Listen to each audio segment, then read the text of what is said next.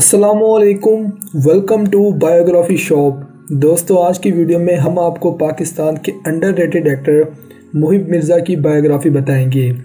दोस्तों वीडियो शुरू करने से पहले एक छोटी सी रिक्वेस्ट है प्लीज़ चैनल को ज़रूर सब्सक्राइब कर लें। मुहिब मिर्ज़ा 18 अगस्त 1979 को पैदा हुए।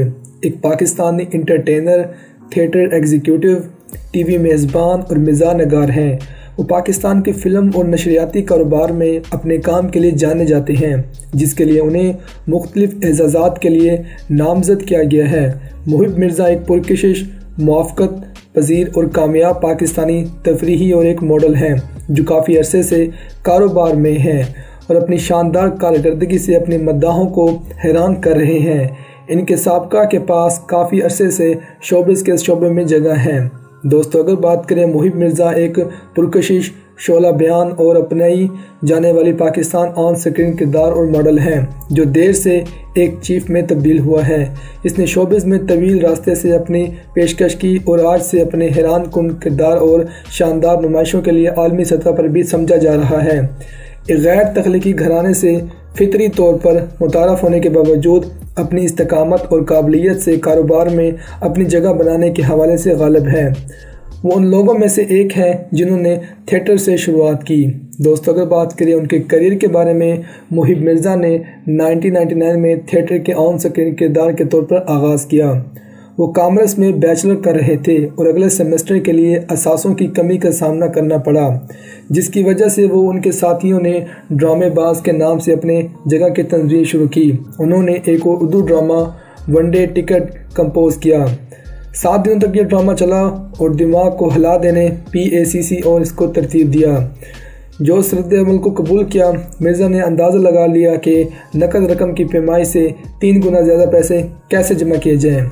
मिर्ज़ा ने टीवी शो पर साहिर काजमी के मरकज़ी धारे की पीटीवी शो सीरियल ज़ेबुलनसा से आगाज़ किया, जो कि एक नौजवान खातून के बारे में है, जो रिहायशी तशद का शिकार हो जाती है। इसके बाद से मिर्ज़ा ने मुख्तलिफ़ टी वी सीरियल्स, टेलीफिल्मों में सेट कॉम्स और टी वी इश्तहार में अदाकारी की है।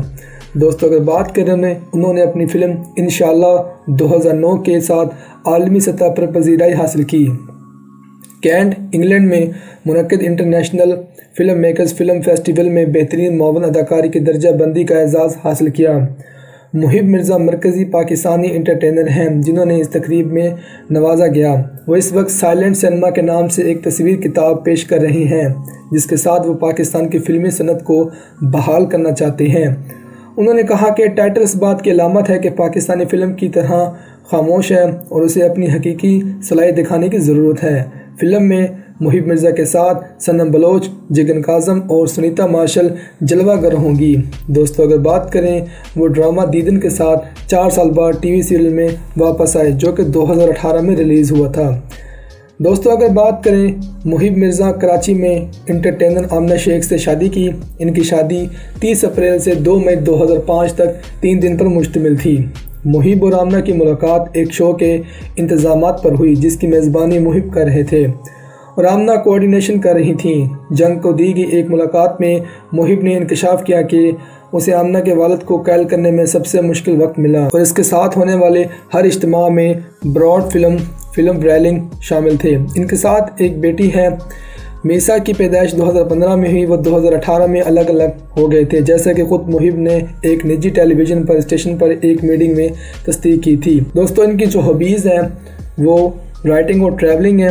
वाले अगर बात करें, इनके जो फेवरेट अदाकार हैं, वो इंडियन अदाकार सलमान खान हैं। इनकी जो फेवरेट अदाकारा हैं, वो उर्वा हुसैन हैं। इनके फेवरेट सिंगर राहत फ़तेह अली ख़ान हैं। इनका जो फेवरेट फ़ूड है, वो देसी फ़ूड, दाल, चावल और पिज़्ज़ा है। इनका जो फेवरेट डेस्टिनेशन है वो पाकिस्तान और पेरिस है। इनका जो फेवरेट कलर है वो ब्लैक और वाइट है। तो दोस्तों, ये थी इनकी बायोग्राफी मुहिब मिर्ज़ा। आपको कैसे लगते हैं हमें कमेंट सेक्शन में ज़रूर बताइएगा। मिलते हैं नेक्स्ट वीडियो में। तब तक के लिए अपना ख्याल रखिएगा। अल्लाह हाफिज़।